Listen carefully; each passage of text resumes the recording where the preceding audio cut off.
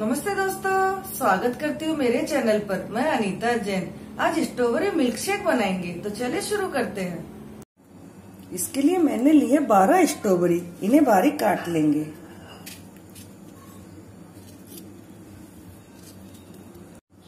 ये सभी स्ट्रॉबेरी को हमने काट लिए, अब इसे हम जार में डाल देंगे। और अब इसमें चीनी डालेंगे।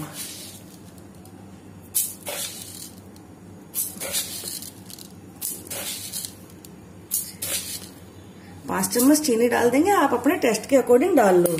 अभी हम पहले पीसेंगे।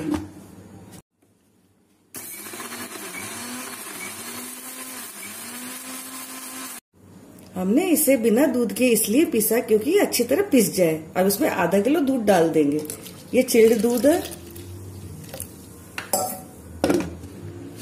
और इसे चला लेंगे।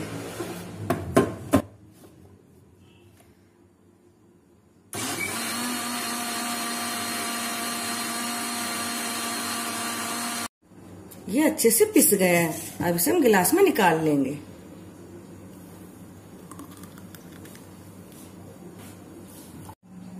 ये हमारा स्ट्रॉबेरी मिल्क शेक बनके तैयार हो गया है। अगर आपको मेरा ये वीडियो पसंद आए तो लाइक एंड शेयर ज़रूर करिए और मेरे आने वाले सभी वीडियो को देखने के लिए मेरे चैनल को सब्सक्राइब कीजिए। Thank you